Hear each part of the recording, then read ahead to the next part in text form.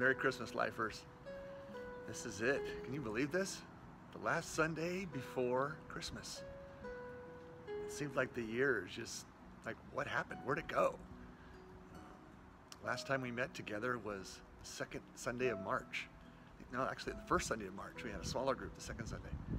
Uh, just flown by. And then in two weeks, we'll be in 2021. Uh, we might welcome 2021, but I remember I welcomed 2020 and look the way it turned out. But you know, I just want to remind you that this is going to pass. It really will. When we think about the Christian story, the birth of our Lord and Savior, and then we thumb through the pages of the Bible and get to the end of that story, that we realize this is this is a blip. It's significant. It's caused some pain. It's caused a tremendous amount of pain for those that have lost loved ones. But it's going to pass. And I just want to read to you this morning a couple of scriptures that might help us. And I'm going to talk about this on Sunday morning uh, in our message before Christmas time. Out of Psalm 24, the song of the King of Glory. So you want to tune in on Sunday and get this message. It will encourage you, it will lift your spirits, it will strengthen you, and hopefully it'll put all this stuff in some perspective for you. But let me read first out of Luke, and then I'm going to read out of Revelation 19. In the book of Luke, this is chapter 2, and uh, this is verse 21. It says, On the eighth day, when it was time to circumcise him, Jesus, he was named Jesus, the, the name the angel had given him before he had been conceived. When the time of purification, according to the law of Moses, had been completed, Joseph and Mary took him to Jerusalem to present him to the Lord, as it is written, the law of the Lord. In the law of the Lord, every firstborn male is to be consecrated to the Lord, and to offer a sacrifice in keeping with what is said in the law of the Lord, a pair of doves and two young pigeons. Now there was a man in Jerusalem named Simeon, who was righteous and devout. He was waiting for the consolation of Israel, and the Holy Spirit was upon him. It had been revealed to him by the Holy Spirit that he would not die before he had seen the Lord's Christ. Moved by the Spirit, he went into the temple courts. He went into the temple courts. When his parents brought in the child, Jesus, to do for him what the custom of the law required, Simeon took him in his arms and praised God, saying, Sovereign Lord, as you have promised, you now dismiss your servant in peace, for my eyes have seen your salvation, which you have prepared in the sight of all the people, a light for revelation to the Gentiles and for glory to your people Israel. I mean, get that picture.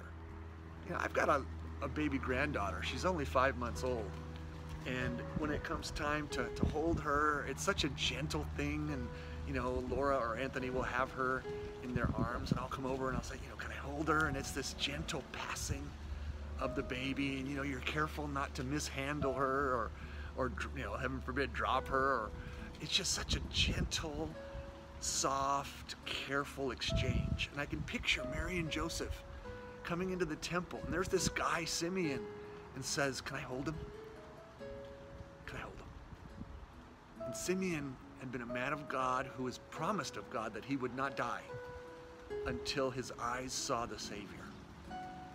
And when that little baby was brought, carried by man, God carried by a mother and a father carrying him along.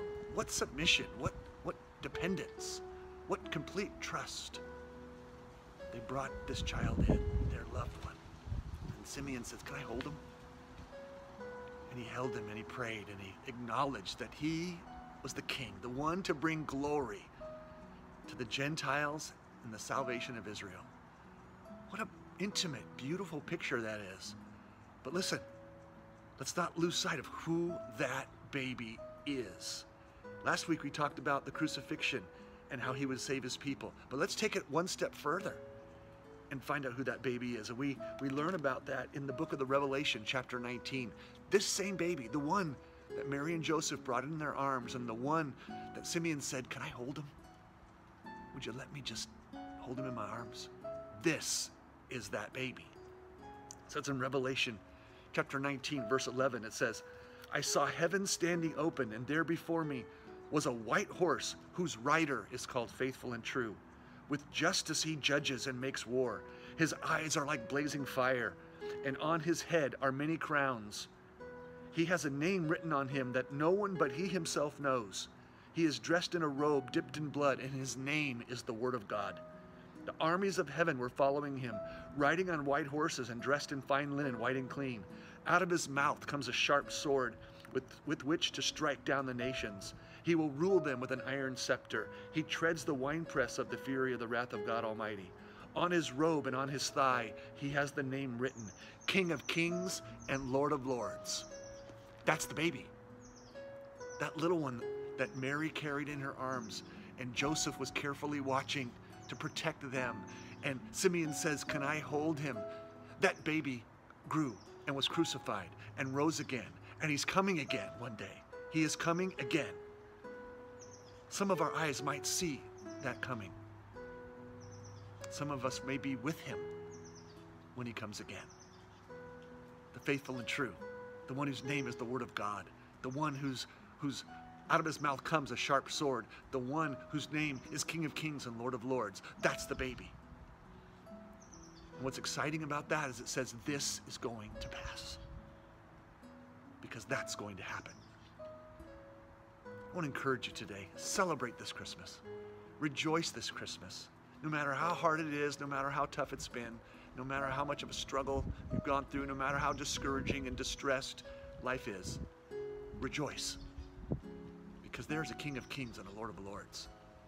He came as a baby, trusted man, hold him, nurture him, teach him, feed him, change him.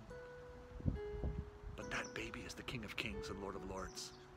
And we're going to see him one day in his glory. We have that story in advance. So let's praise him in advance. Let's rejoice in advance. Let's praise the King this Christmas time, the King of glory.